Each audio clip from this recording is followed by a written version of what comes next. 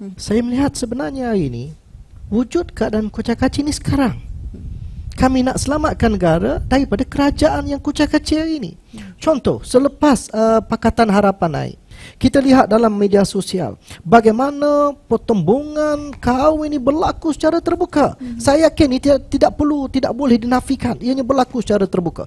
Penghinaan terhadap agama Islam, penghinaan terhadap orang Melayu, mm-hmm. penghinaan terhadap raja-raja Melayu yang tidak pernah berlaku sebelum ini mm-hmm. berlaku secara berleluasa sejak Pakatan Harapan mengambil kerajaan. Mm-hmm. Jadi bagi saya yang berlaku keadaan hari ini kucak kacir ni bukan akan berlaku selepas berlaku pertukaran kerajaan tetapi hari ini sedang berlaku dan kita nak selamatkan keadaan kucak kacir ni hmm. daripada terus berlaku contoh hmm. bagaimana selepas ekonomi keadaan bagaimana keadaan kedudukan ekonomi negara selepas dulu dikatakan hutang kita begitu banyak 800 bilion dan sebagainya hmm. tak sampai 2 tahun ratusan bilion hutang baru dibuat puluhan bilion aset negara dijual hmm.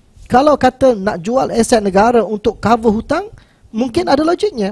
Tetapi apabila puluhan bilion hutang negara, puluhan bilion aset negara dijual, tetapi hutang negara bertambah ratusan bilion.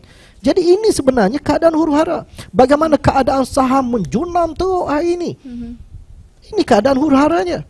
Maka kita nak selamatkan negara daripada keadaan huru hara ini dengan insya Allah kalau ada move ini PAS akan menyokong sebarang usaha untuk menyelamatkan negara.